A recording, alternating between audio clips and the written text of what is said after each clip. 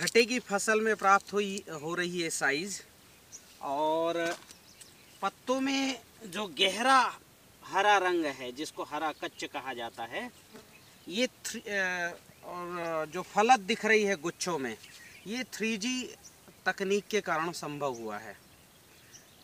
Three तकनीक यानी third generation तीसरी पीढ़ी से उत्पादन लेना। ऐसा हर फ़सल में किया जा सकता है, ये मेरा फार्म हाउस है। बेलजी फा, जैविक फार्म हाउस खमरिया ज़िला नरसिंहपुर। और इसमें मैं ये तकनीक पिछले चार वर्षों से अपना रहा हूँ।